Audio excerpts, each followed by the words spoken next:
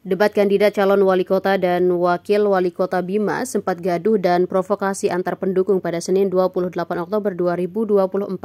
Debat terbuka pertama yang berlangsung di Paruganai Convention Hall Kota Bima diskor sekitar 10 menit. Pantauan tribulombok.com kegaduhan bermula ketika debat memasuki segmen jawaban untuk calon wakil wali kota. Calon nomor urut 2 menjawab pertanyaan terkait pendidikan dan kesehatan muncul teriakan dari arah penonton. Suasana sempat tegang tetapi bisa langsung ditenangkan. Tetapi belakang kembali memanas ketika Mutmainah menjawab pertanyaan.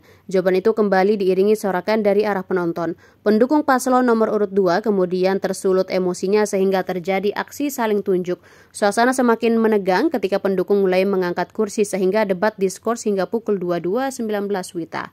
Aparat keamanan KPU dan masing-masing simpatisan saling menenangkan. Moderator debat baik Santi Rengganis kembali mengingatkan supaya penonton tetap tenang dan tertib.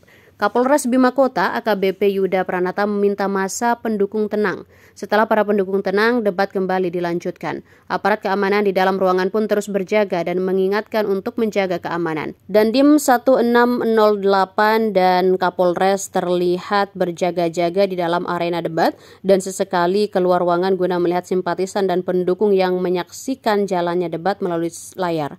Debat akhirnya bisa selesai sesuai dengan jadwal dan kondusif saat kepulangan paslon beserta pendukungnya.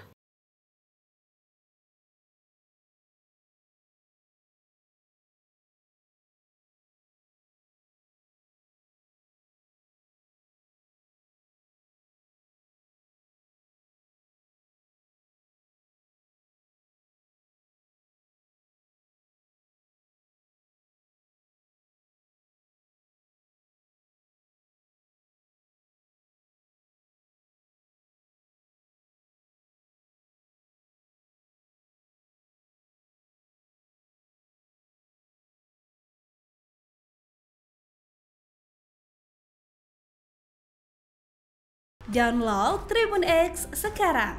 Menghadirkan lokal menjadi Indonesia.